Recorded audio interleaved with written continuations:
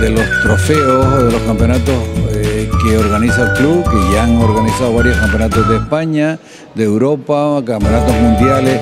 no solamente de Optimis, sino de, otros de otras clases de vela. Y recientemente hemos terminado el europeo y este es un campeonato que queremos darle una relevancia especial porque nosotros acabamos de llegar, somos de la nueva junta directiva y esperamos sacar un,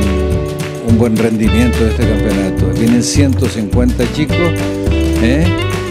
con gran ilusión y, y, lo que queremos antes que nada es que se quede el campeonato en, en Canarias, o sea que lo gane un canario, pero bueno, el tiempo dirá.